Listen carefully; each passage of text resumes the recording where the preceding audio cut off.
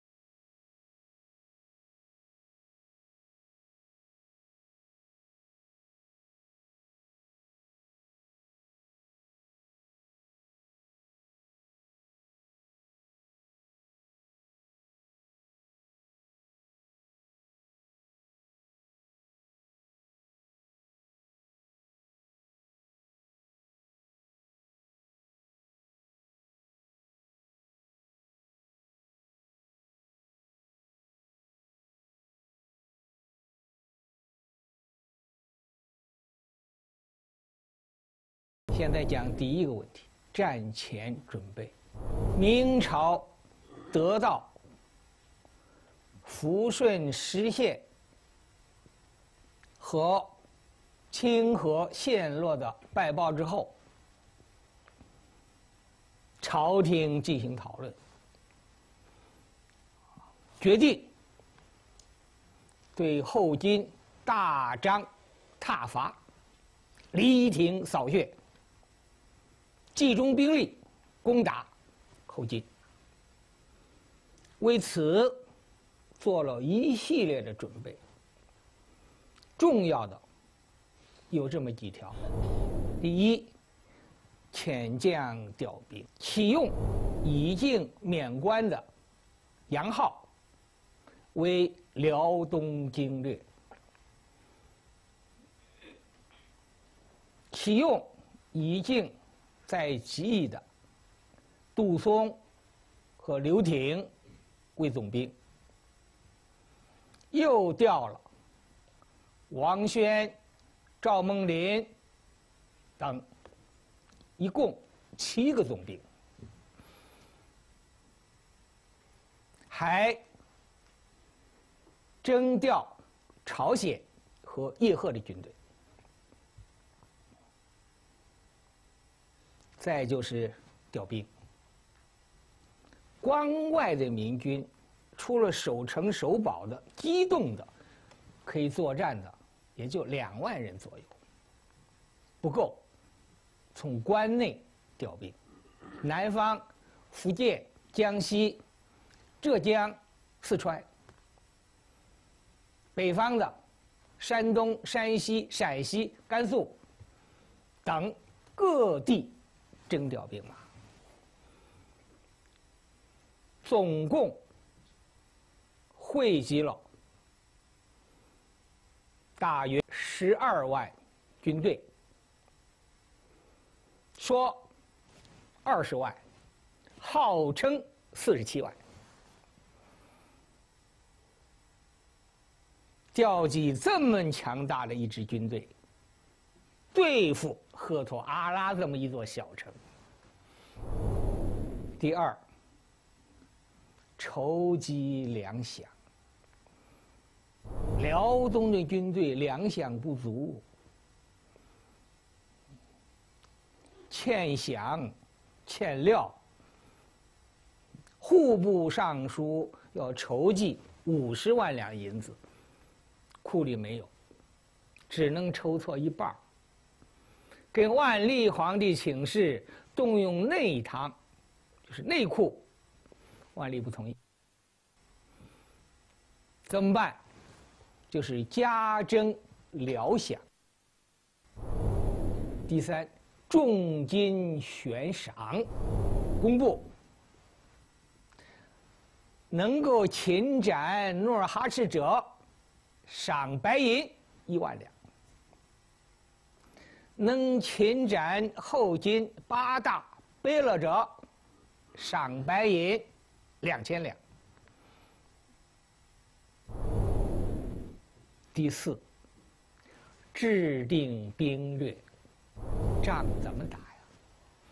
得有一个作战方略呀。经过反复的讨论，吸取了历史的经验，决定兵分四路，分进合击，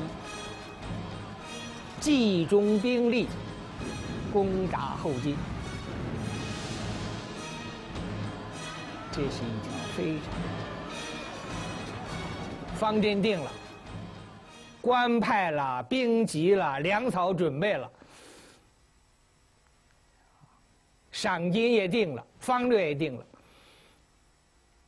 就是一条了，就是要对后金发动全面的进攻。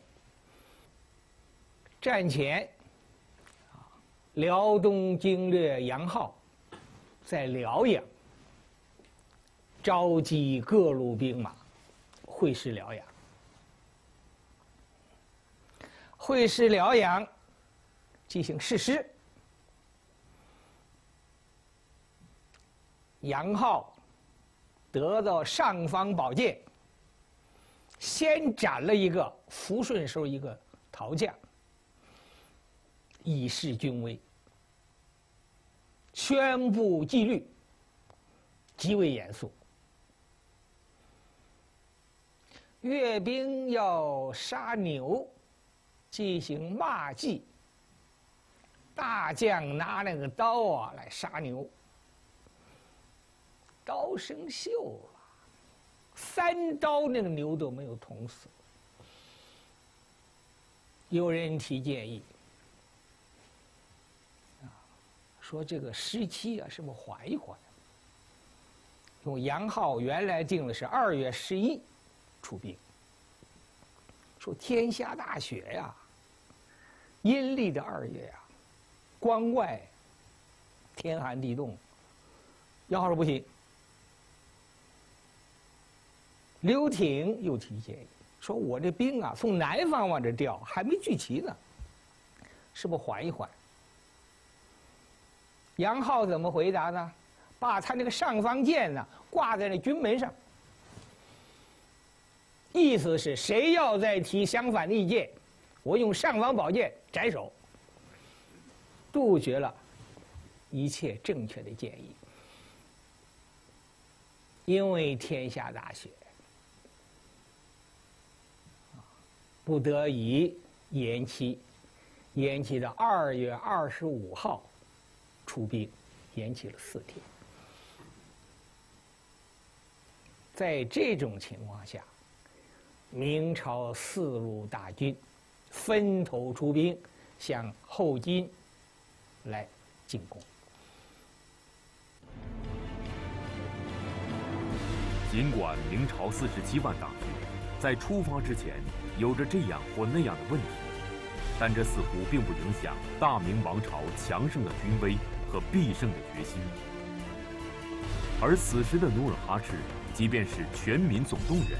也只有区区几万军队，几乎只是明军的一个零头。面对明朝四路大军的凌厉攻势，努尔哈赤该怎么办？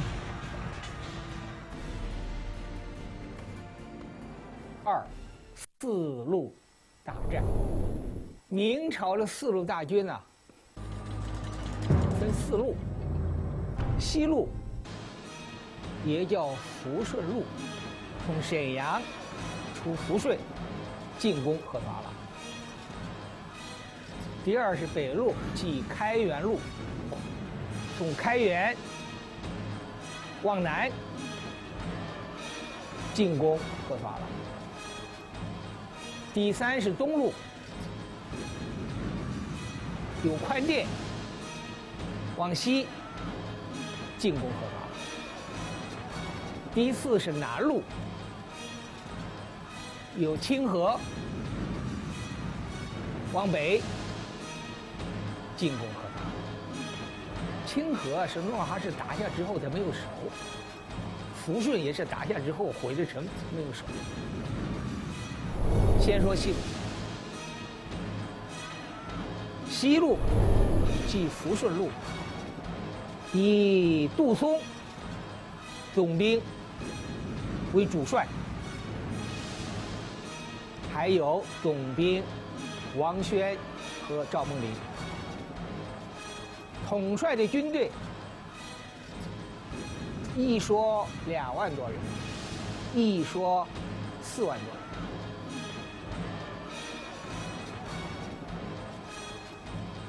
杜松这个总兵啊，啊，是二月二十九号从沈阳出发，夜里头点了火炬行军。规定他三月初二到崖谷关，他二十九日夜里头出来到抚顺一百里地，说三月初一就出了抚顺。抚顺往前呢，叫做萨尔浒山口。这面是苏子河、浑河汇流的这个地方，现在是叫大伙坊水库。杜松率了他的军队要过浑河，这个时候，有人提议说天也晚了，宿营，明天再继续走。杜松说不行。骑着马过河，敞着怀啊！杜松是喝了酒，酒气正浓，就往前走。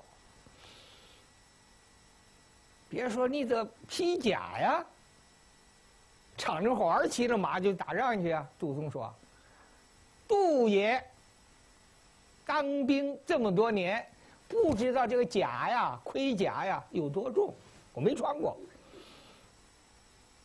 你们看看我身上这个枪疤剑疤。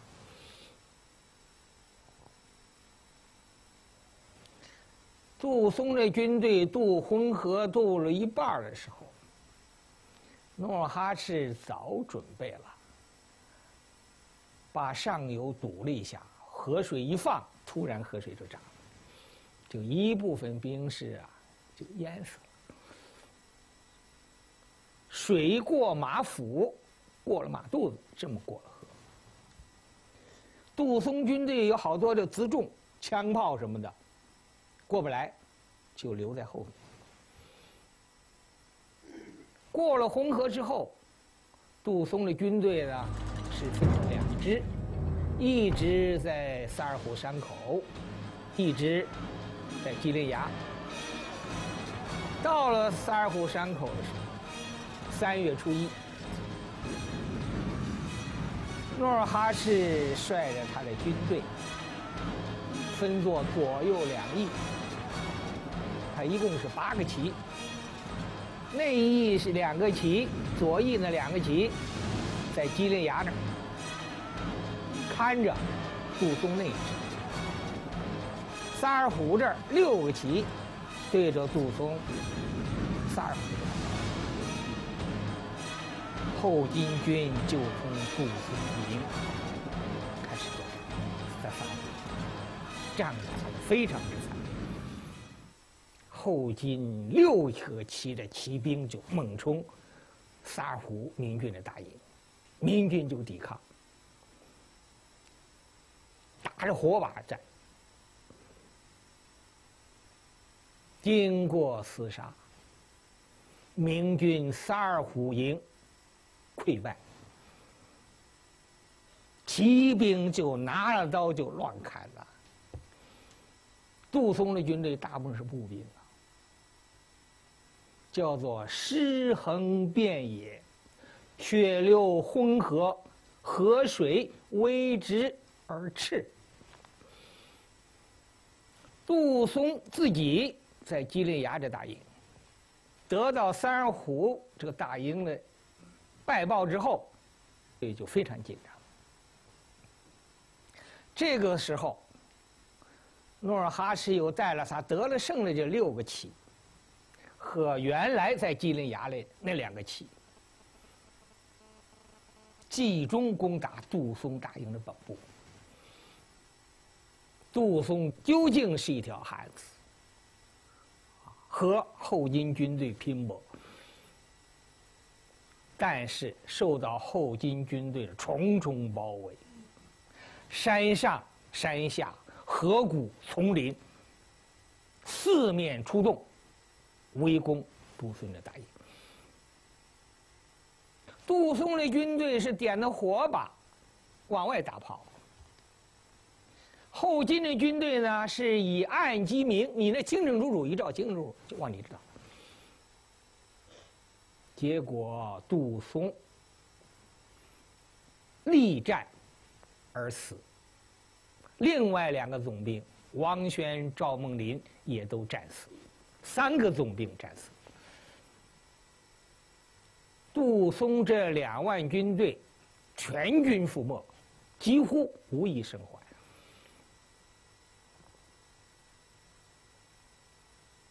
这是三月初一，三月初二，北路马林率了军队。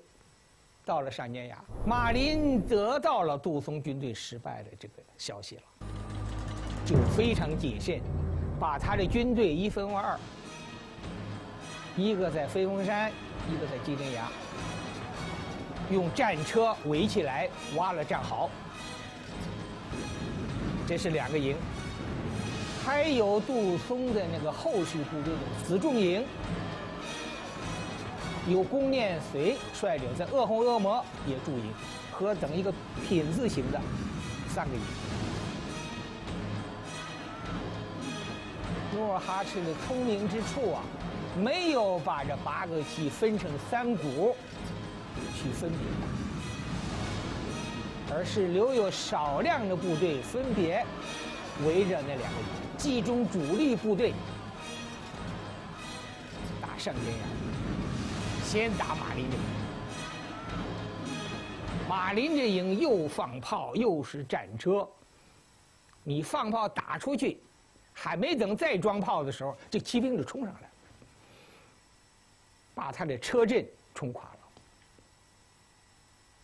马林是总兵啊，一见势头不好啊，仅带身边的数人。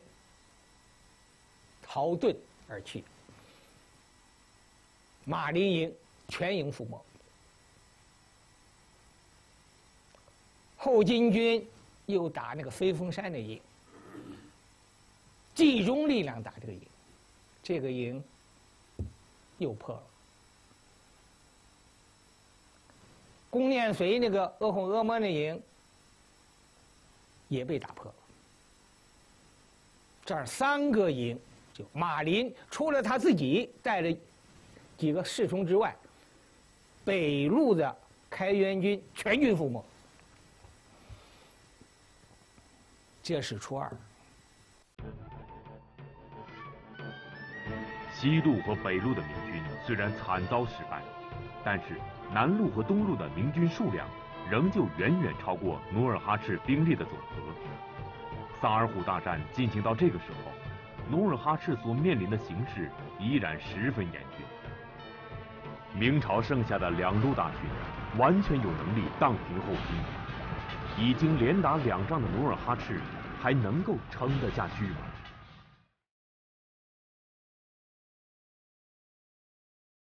初三，代善和努尔哈赤啊做一个调整。这个时候，南路的军报来了，东路的军报也来了。打哪路？努尔哈赤说打东路，南路啊，他那个山路崎岖，可能进兵慢一步，先打东路。这儿经过了初三的调整，到初四集中到了东路。东路就是总兵刘挺率领。刘挺的军队进到阿布达里港地区，这个地方我去过，两边是山，一个曲曲弯弯的一个河谷地，形势很很险。刘挺的军队像一条长蛇一样往前走，兵不能成伍，马也不能成列，就到了阿布扎里港的山谷。这个时候，努尔哈赤和代善已经部署了军队，在这个山的两侧的丛林里头埋下了伏兵。刘挺的军队啊，粮食供给不上，有的兵士已经三天没吃饭了。又是天寒地冻，进到阿布达里港山谷的时候，努尔哈赤这时候用了一个奇招，就是他把俘虏了那个杜松的那个兵啊，剥下那衣服来。啊用他后金兵穿着杜松兵的那个衣服，拿那旗子，就到了刘挺这儿了。说杜爷啊，已经马上就要到赫图阿拉了，约了你快进兵加攻。刘挺说：“当时我们有约定啊，是放炮为号啊，不是令箭为号啊。”说不行，说是放炮来不及了，这个快。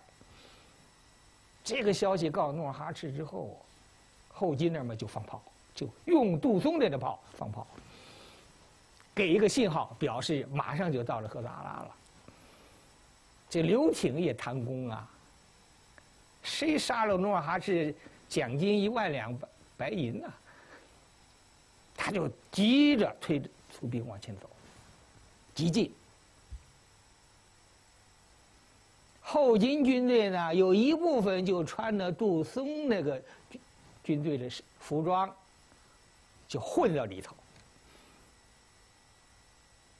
这个时候，代善、阿米、皇太极等等率着军队，从山的两侧往下攻，把刘挺的军队呢切成了几段。分别包围，把刘挺率领的东路军分别歼灭。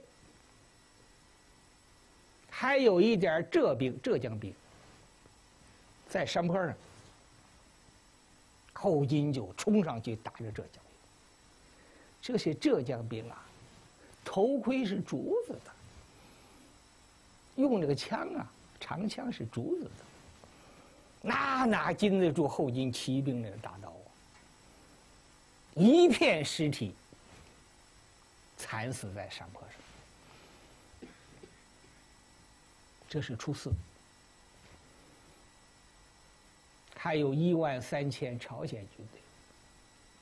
朝鲜的统帅姜亨利说：“说我们已经好几天没吃饭了，我们投降。”这是初四。到初五，把朝鲜问题解决了。这个时候，杨浩在沈阳坐镇指挥，得到败报，赶紧的传令南路，李有白赶紧撤兵。李如柏是总兵，他的父亲是李成梁。本来他就不积极，他就故意拖延慢走，让你们先去所以他比别人晚到。他得到撤军的军令之后呢，他就带军。这个时候，努尔哈赤布置了一小股军队啊，在山上监视这个南路的李如柏这个。但他往回撤的时候呢，这伏兵就起来了，摇旗呐喊。他又这个不知道到底后金军有多少，来势头多猛，就急忙撤退，互相践踏。李如柏逃回到了清河，西路三个总兵，杜松、王宣、赵孟霖战死。北路马林逃回去了，我们一会儿还再说。下一讲讲开元铁岭的时候再说。东路，刘廷战死。南路，李如柏你怎么交代呀？所以朝廷言官就弹劾李如柏。李如柏没办，李如柏自裁而死，自杀了。萨尔浒大战，历时五天。明军四路大兵。两双败北，后金军取得胜利，明朝军结果大败。听到这里，我们都会感到非常疑惑：大明王朝的堂堂四十七万大军，就这样莫名其妙的全军覆没，而且仅仅就是五天的时间。这听起来完全就是一个天方夜谭的童话，不知严崇年老师会在其中发现什么玄机呢？下面我要讲第三个问题：三，简要分析明军的失败，后金军的胜利胜利。兵书啊，说到三镇，天地人三镇。兵书这样说：“日月风云，天震也；山林水泉，地震也；兵车士卒，人震也。”明军的失败，天震、地震、人震，我再给加上一个兵震，都犯下了大错，所以。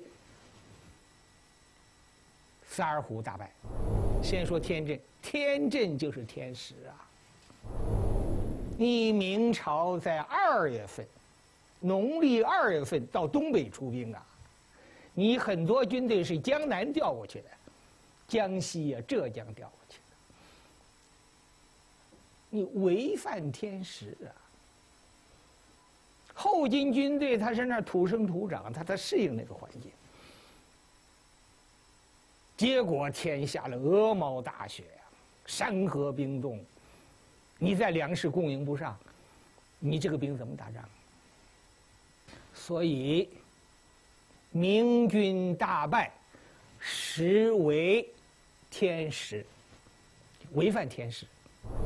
二说地震，这个地形对后金有利，对明军不利。明军在后金这个崎岖山路、山峦密林作战是非常不利的。你火器不能好好发挥作用，战车也不能好好发挥作用。明军大败，实为地利。三说人阵，明朝这七个总兵派了七个总兵。四路的统帅，这四个总兵，他们或者鲁莽，或者骄横，或者寡谋，或者纨绔，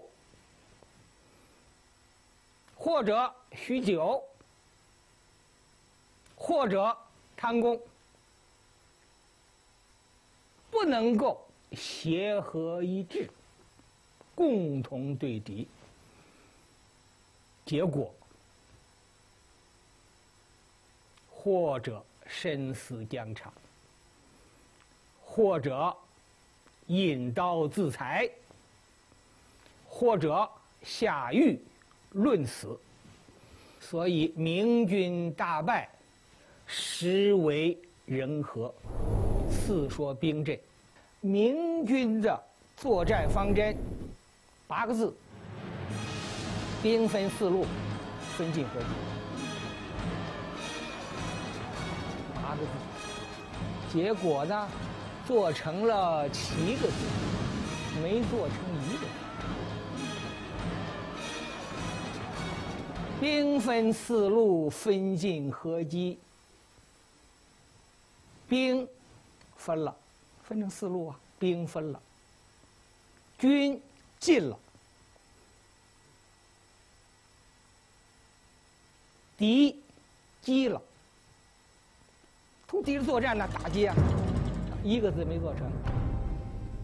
合击那个“合”字没做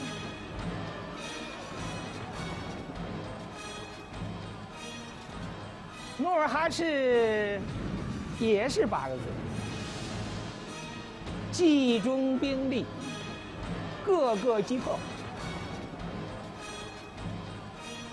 他的话叫做“任尔几路来，我只一路去”，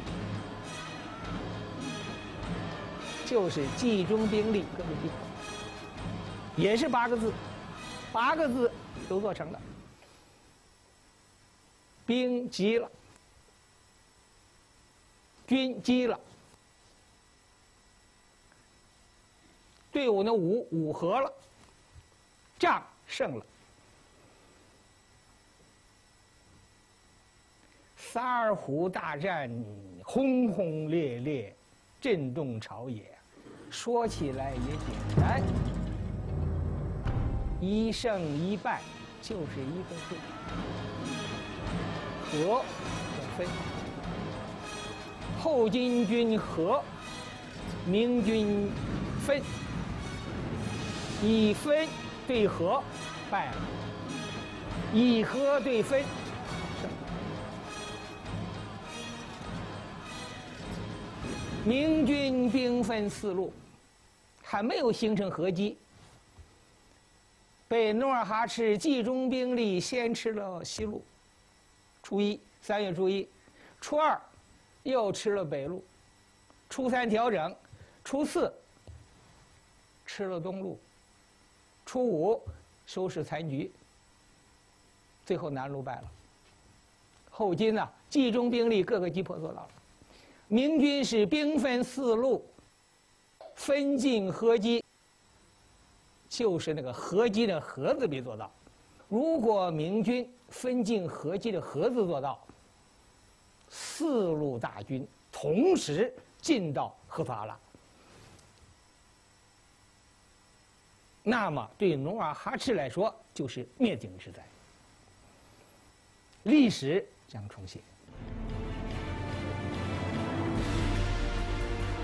大明王朝的萨尔浒惨败，将会对未来的局势产生怎样的影响？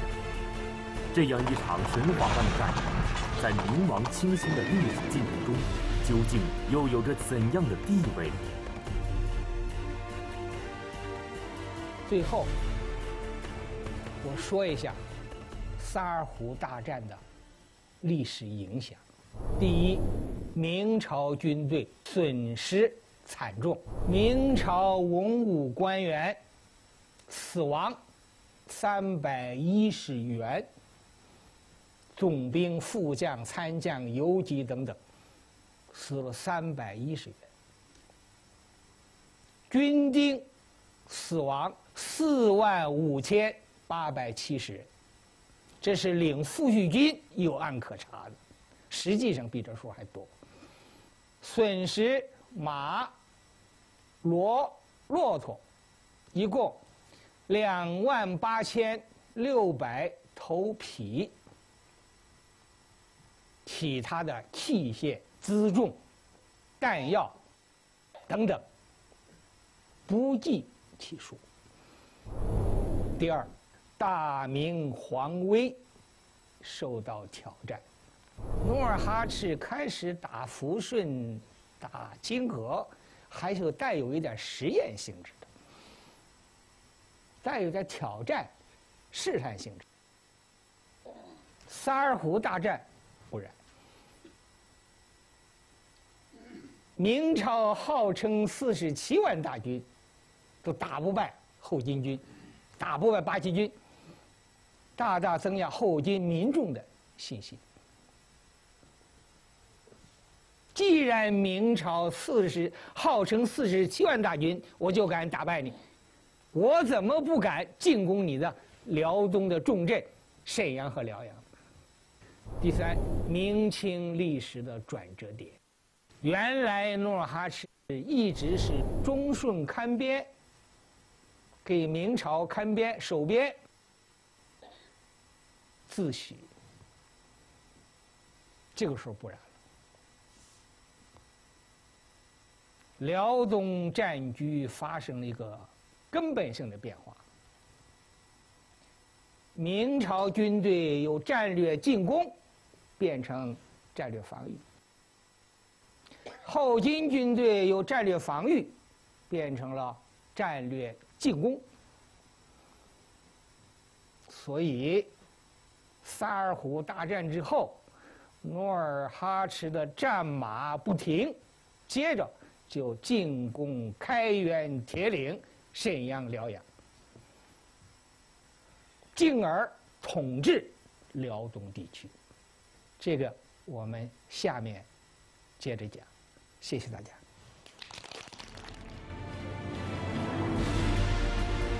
萨尔浒大战之后的大明王朝，面对史无前例的惨败，是否会再度派兵报仇雪恨？奇迹般击败明军的努尔哈赤，面对萨尔浒的辉煌胜利，他又将作何打算？